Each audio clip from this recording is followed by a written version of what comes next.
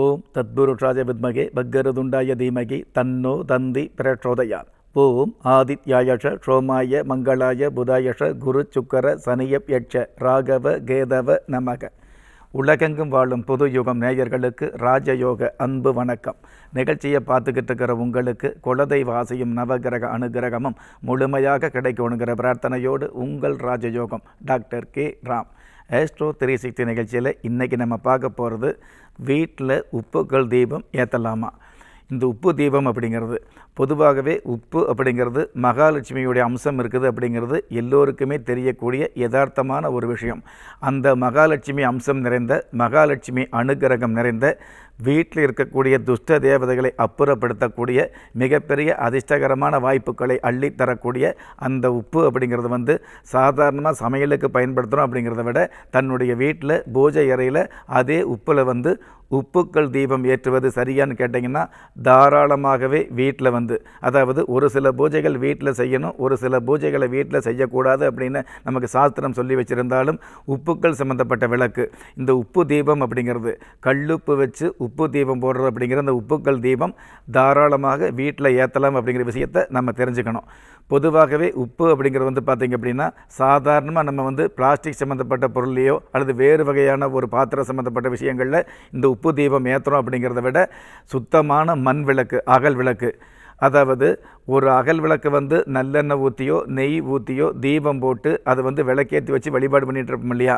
அந்த விளக்கை வந்து சுத்தமாக அலசி எடுத்து அதில் வந்து உப்புக்கள் தீபம் போடலாமான்னு கேட்டிங்கன்னா அந்த மாதிரி போடுவது உகந்ததாக இருக்காது. நல்லெண்ணெய் ஊற்றி ஏற்றுற விளக்கில் அந்த நல்லெண்ணெய் தீர்ந்ததுக்கப்புறம் அந்த விளக்கை சுத்தப்படுத்தி அதாவது அதே மண் விளக்கு என்று சொல்லக்கூடிய அகல் விளக்கை சுத்தப்படுத்தி நெய் ஊற்றி அந்த விளக்கை வந்து பயன்படுத்தலாம். ஆனால் உப்புக்கள் தீபத்துக்கு வந்து தனியாக எந்த விஷயத்துக்கும் பயன்படுத்தாத எந்த விளக்கும் ஏற்றாத நல்லெண்ணெயோ நெய்யோ ஏற்றாத ஒரு புது மண் அகல் விளக்கை எடுத்து அதை வந்து ஒரு பன்னீரோ அல்லது சுத்தமான தண்ணீரில் நனைச்சி எடுத்து அதுக்கப்புறம் அந்த அகல் விளக்கில் வந்து மஞ்சள் அதாவது மஞ்சளோ சந்தனம் அப்படிம்போ அது முடிஞ்ச அளவுக்கு மஞ்சள் தண்ணீரில் வந்து முக்கிய எடுத்து அல்லது மஞ்சளை வந்து அந்த மண் விளக்குக்கு வந்து பூசி அந்த விளக்குக்கு வந்து மூன்று இடத்துல பொட்டு வைக்கிறது நல்லது அல்லது ஒரு இடத்துல பொட்டு வைக்கிறது நல்லது. நிறைய பேர் ஆர்வ மிகுதியில் அந்த உப்புக்கள் ஏற்றக்கூடிய உப்புக்கள் தீபம் போடக்கூடிய அந்த மண் விளக்குக்கு நிறைய இடத்துல பொட்டு வச்சுக்கிட்டு இருப்பாங்க அப்படி இல்லாமல் அந்த விளக்கினுடைய முன்பகுதி சொல்லக்கூடிய அந்த முன்பகுதியில் மட்டும் அந்த திரு ஏத்திரம் இல்லையா? அந்த முன்பகுதியில் ஒரே ஒரு பொட்டு வைக்கலாம். அல்லது விளக்குடைய பின்பகுதி இடையில வந்து அதாவது விளக்கை வந்து மூணாக பிரித்து அந்த மூணு பக்கத்தில் வந்து பொட்டு வைக்கலாம். ஒரு பொட்டு வைக்கிறதே உத்தமமாக இருந்துகிட்ருக்கும் அது சந்தனம் குங்குமம் வைக்கிறது சிறப்பாக இருந்துகிட்ருக்கும் எப்போதுமே இந்த உப்பு அகல் விளக்கு இந்த உப்புக்கள் தீபம் ஏற்றும் பொழுது உப்புக்கள் தீபத்துக்கு பொட்டு வைக்கும் பொழுது கண்டிப்பாக உங்களுடைய பெருவிரல் அதே சமயத்தில் இந்த மோதிர விரல் இந்த இரண்டு விரலில் குங்குமம் எடுத்து மோதிர விரலால் மட்டும்தான் அந்த விளக்குக்கு பொட்டு வைக்கணும். இது வந்து ஒரு சிறு விதி தான் ஆனால் பெரும் நன்மைகள் கொடுக்கக்கூடிய இந்த விதியை தயவு செய்து யாராக இருந்தாலும் இந்த பொட்டு வைக்கும்போது பயன்படுத்துறது நல்லதாக இருந்துகிட்டு இருக்கும். அந்த மாதிரி இந்த அகல் விளக்கில் வந்து ஒரு அகல் விளக்கு எடுத்து சுத்தமாக வந்து அதை சுத்தப்படுத்தி து- சுத்தமான தண்ணீரில் முக்கிய எடுத்து அது மஞ்சள் குங்குமம் அதாவது மஞ்சள் பூசி சந்தனம் குங்குமம் வைக்கப்பட்ட அந்த அகல் விளக்கில் வந்து தர தட்டுற அளவுக்கு. அகல் விளக்கில் கோபுரமாக வந்து உப்பு வைக்கிறோம் அப்படிங்கிறத விட இல்லை கொஞ்சம் குறையா உப்பு வைக்கிறோம் அப்படிங்கிறத விட நிறைய பேருக்கு ஒரு சந்தேகம். இந்த அகல் விளக்கில் வந்து நம்ம நிறைய வந்து உப்பு வைக்கணுமா? அல்லது கொஞ்சமாக வைக்கணுமா? அல்லது அகல் விளக்கில் வந்து அதாவது பாதி விளக்கு மட்டும் வச்சுக்கலாமா? அப்படிங்கிற ஒரு சந்தேகம் வந்துட்டு இருக்கோம். அகல் விளக்கில் நிறைய தர தட்டுற மாதிரி. அதாவது தலைப்படின்னு சொல்லுவாங்க தர தட்டுறதுன்னு சொல்லுவாங்க. அந்த அகல் விளக்கு எந்த அளவுக்கு இருக்குதோ அந்த அளவுக்கு உப்பு நிறைய போட்டு அதில் வந்து தலை தட்டுற மாதிரி வச்சுக்கலாம். கோபுர வடிவு வேண்டியதில்லை. அப்போ இந்த அகல் விளக்கில் கல்லுப்பு இந்த உப்பு தீபம் அப்படிங்கிறது எது பயன்படுத்தலாம் அப்படின்னு கேட்டிங்கன்னா சாதாரணமாக சமையலுக்கு பயன்படுத்துகிற இந்த பொடி உப்பு என்று சொல்லக்கூடிய சால்ட் வந்து பயன்படுத்த வேண்டியதில்லை. கண்டிப்பாக உப்பு தீபத்திற்கு கல் உப்பு தான் பயன்படுத்தணுங்கிற விஷயத்தில் நீங்கள் உறுதியாக இருந்துகிட்டுருங்க அந்த கல் உப்பு வந்து மஞ்சள் பூசின இந்த அகல் விளக்கில் மஞ்சள் பூசி குங்குமம் வச்ச இந்த அகல் விளக்கில் தரதற்ற அளவுக்கு கல்லுப்பு போட்டு அந்த உப்பு அந்த உப்பு தீபத்தை வந்து உங்களுடைய பூஜை அறையில் வைக்கணும். எப்படி வைக்கணும்? இப்போ வந்து உப்புக்கள் தீபத்துக்கு எந்த மாதிரி ஏற்றுறது அப்படிங்கிற விஷயத்தை நம்ம தெரிஞ்சுக்கிட்டோம். ஆனால் அந்த உப்புக்கள் தீபத்தை பூஜை அறையில் எந்த மாதிரியான ஒரு வகைமுறைகளில் எந்த மாதிரியான ஒரு வகையாக பயன்படுத்தணும் அப்படின்னு கேட்டிங்கன்னா வெறுமனே உப்புக்கள் தீபத்தை பூஜை அறையில் தரையில் வச்சு ஏற்றக்கூடாது ஒன்று அப்போ என்ன பண்ணலாம்? உங்களுடைய வீட்டில் சமையலுக்கு வச்சுருக்கிற அரிசி இருக்கும் இல்லையா? அந்த அரிசி பச்சை அரிசியாக இருக்கலாம் புழுங்கரிசியாக இருக்கலாம் வறுமையில் உள்ளவங்களுக்கு சாதாரண அரிசியாக இருந்துகிட்ருக்கலாம் எந்த அரிசியாக இருந்தாலும் அந்த அரிசியில் ஒரு கைப்பிடி எடுத்து அந்த அரிசியை இன்னொரு அகல் விளக்கில் வந்து போட்டு அந்த அகல் விளக்கில் தர தட்டுற அளவுக்கு அந்த அரிசி அந்த அகல் விளக்கு நிறையிற அளவுக்கு போட்டு தர தட்டிடணும். அதாவது கோபுரமாக வைக்கக்கூடாது.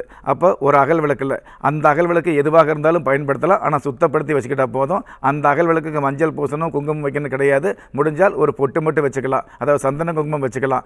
அந்த சந்தனம் குங்குமம் வைக்கப்பட்ட அந்த அகல் விளக்கில் உங்கள் வீட்டில் இருக்கக்கூடிய அரிசியில் ஒரு ஒரு கைப்பிடி அரிசி எடுத்து அந்த அகல் விளக்கை தரதற்ற அளவுக்கு போட்டுட்டு அந்த அகல் விளக்குக்கு மேலே இந்த உப்பு விளக்கு வைக்கணும். அதாவது கல்லுப்பு தீபத்தை வைக்கணும். அப்போது அந்த கீழே இருக்கிற அரிசியில் இருக்கக்கூடிய அகல் விளக்குக்கு வந்து பார்த்தீங்கன்னா அது அரிசி தெய்வமாக தானிய தெய்வமாக இருந்துகிட்டு இருக்கும். அதில் வந்து திரி ஏற்ற முடியாது.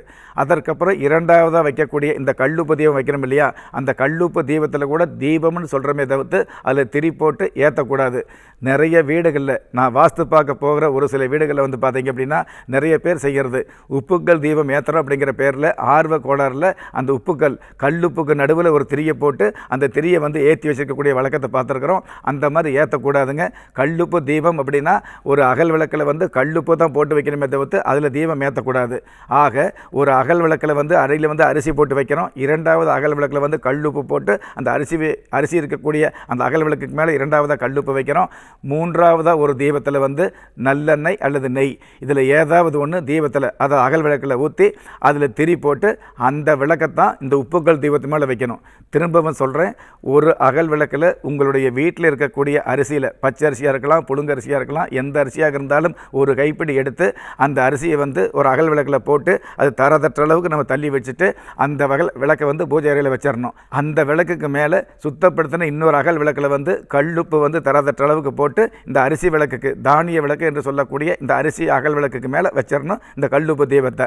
அதற்கப்புறம் மூன்றாவதாக ஒரு தீபத்தை ஏற்றணும் அந்த தீபத்தில் அந்த அகல் விளக்கில் வந்து ஒன்று நல்லெண்ணெய் பயன்படுத்தலாம் அல்லது நெய் பயன்படுத்தலாம். சுத்தமான பசு நெய் கிடச்சது அப்படின்னா இந்த உப்புக்கல் தீபத்துக்கு மிக மிக ஐஸ்வர்யம் இருந்துட்டு ஏன்னா இந்த உப்பு கல்லுலேயும் ஐஸ்வர்யம் இருந்துகிட்ருக்குது மகாலட்சுமியுடைய அனுகிரகம் இருந்துகிட்ருக்குது மகாலட்சுமி வாசம் செய்யக்கூடிய அமைப்பும் இருந்துகிட்ருக்குது அதே மாதிரி சுத்தமான பசு நெய்யில் வந்து அஷ்ட ஐஸ்வர்யங்களும் இருந்துகிட்டு இருக்குது.